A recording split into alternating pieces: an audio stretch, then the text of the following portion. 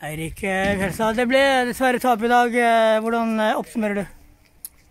Nei, om jeg ikke skal si at det var Nokat-ranet, så var det i hvert fall et lite ran. det må vi si. Jeg synes vi første frem, nei, første time frem til, eh, til, målet kommer, så er vi mye, mye bedre enn Amazon. Altså, de er gode. Altså, vi, vi, og vi skaper mer enn nok sjanser til å, til å vinne denne kampen. Vi bør jo sikkert lede både med 2 og 3-0 til pause. Sant? Så men så etter at skåringen kommer, så, eh, så, finner vi ikke helt ut av det. Og da må vi gi litt ære til Amazon. og De har mye rutinerte spillere som har spilt både toppserie og førstedivisjon gjennom mange år. Sånn at de, eh, de, klarer på en måte å ta ned tempoet i kampen. De klarer å lage mye dødballer, de lurer dommeren litt. Og så lager de sånne frispark. Sånn at tempoet vi, vi, ikke klarer å holde oppe gode nok rytmer på det. En liten god periode, akkurat 75-80 der, som vi kanskje trykker litt. Men vi får liksom ikke avgjort det. da. Og så er det igjen eh, ingen tvil om at eh, når Milena blir dratt ned i feltet i 88. minutt, så skal dommeren blåse. Den er soleklar. Hun står så tett på at den skal hun se. Men det er igjen det samme vi ser ofte. Mange av disse unge dommerne de tør ikke å ta de der eh, vanskelige avgjørelsene store, altså, når, når det får så store avgjørelser. Det er helt sikkert. Hun må ha sett den. Vi ser jo gå for benken til. Så uh, uten at det er på en måte det vi skal uh, bruke som unnskyldning. Så, men uh, ja. Så det. Vi, eh, vi er ungt lag, vi er nytt lag. Vi eh, må ta og tåle disse smellene her. Det må vi gjøre. Vi, eh, det, det, skal vi reise oss fort og leve med. Ja. Men du kommer jo fra tre, tre seire nå, mm. og så dessverre i dag da, så blir det ingenting.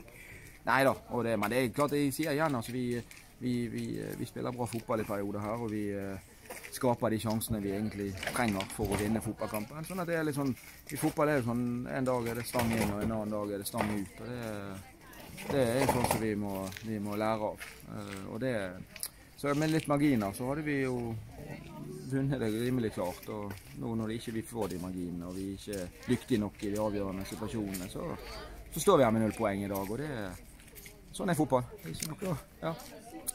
Jeg føler også som sagt det blir diskutert. På midtbanen så føler jeg dere får litt mange brudd. Ja, fordi at vi det, Ja, i hvert fall i noen perioder der. Så får vi, vi spillerne opp. Men vi, vi, ønsker å gjøre det. Vi ønsker å spille opp på feilvendte spillere. Vi ønsker å på en måte få, få satt opp midtbanen, og flytte på motstanderne. Sant? Og noen ganger så, så, så, lykkes du med det, og andre ganger så, så er ikke du helt, eh, helt på. Sant? Så når du spiller og lar ball gå og spiller ball sånn som så, så vi ønsker, så, så blir det jo noen ja, så blir det jo litt sånn innimellom at du eh, de små, eh, små eh, Altså er ikke du helt på, så får du kanskje en del av de balltapene som, som kan bli med inn sentralt i banen. Ja. Og så er Amazon utrolig god på å stå i rygg på feilvendte spillere. De er sterke duellspill, smarte. sånn at det, det jo ga oss mye trøbbel i dag. Fremover nå, nå er det jo som sagt kampen står tett og kommer tett. Mm. Klarer vi å komme oss opp igjen på hesten? Vi, klart vi har nå ehm, jeg, sa, jeg, har sagt nå hele tiden at når vi er ferdig med de to til Hemne-kampene, så kan vi oppsummere og se hvor vi ligger og hvordan det ser ut. For nå er det Stabæk borte. Det er jo foreløpig ingen som har slått i. Eh, og så er det da to tøffe kamper mot Kiel Hemne. Så dette, eh, når vi har fått gjort unna de, så skal vi oppsummere og se hvor vi ligger an, tenker jeg.